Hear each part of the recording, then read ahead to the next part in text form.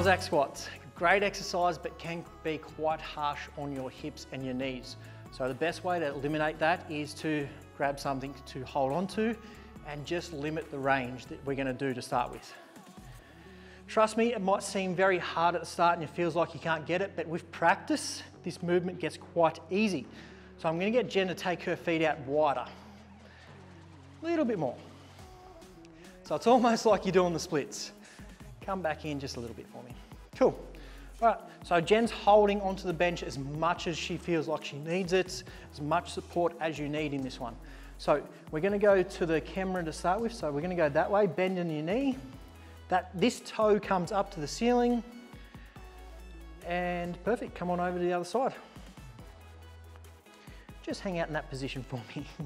so again, this toe comes up to the ceiling just so it allows you to get up a little bit higher. And this might be enough for you, and that's quite all right. All I'm gonna suggest for Jen in this one is to just keep your chest up a little bit higher. Good, keep going. Move your feet around as much as you need to. This, there isn't a set position for your feet on this one.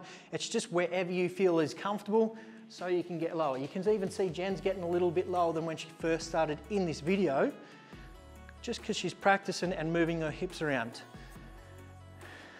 and just stand up tall for me. Now you might find that that's starting to get easy and you want to let go of that, the bench and start doing it. The easiest way to um, progress from there is to add in a counterbalance in front. Because if Jen was about to do it now with her body weight, she'd want to fall over backwards. So to counteract that, we'd hold a dumbbell out to the front. And then we're going to go out to the sides, slow and control. Again, I don't care how deep Jen is going, I care about the control that she has over this exercise.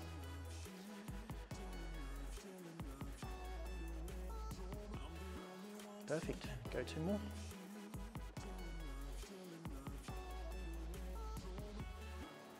Nice work.